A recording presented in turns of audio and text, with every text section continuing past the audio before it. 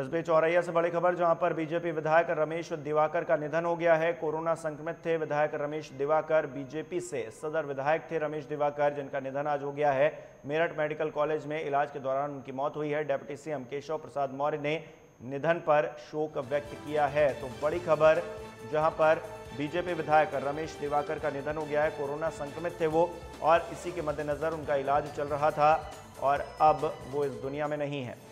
तो बीजेपी के सदर विधायक थे रमेश दिवाकर।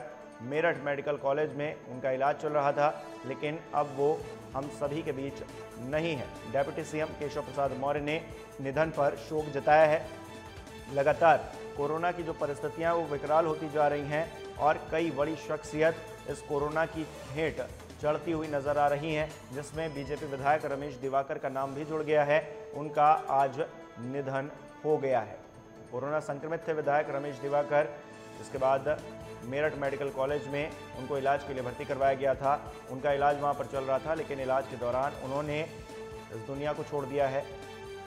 बीजेपी से सदर विधायक थे रमेश दिवाकर, जिनकी अब मौत हो गई है, निधन हो गया है। डेप्यूटी सीएम केशव प्रसाद मौर्य ने उनकी मौत पर शोक व्यक्त किया है।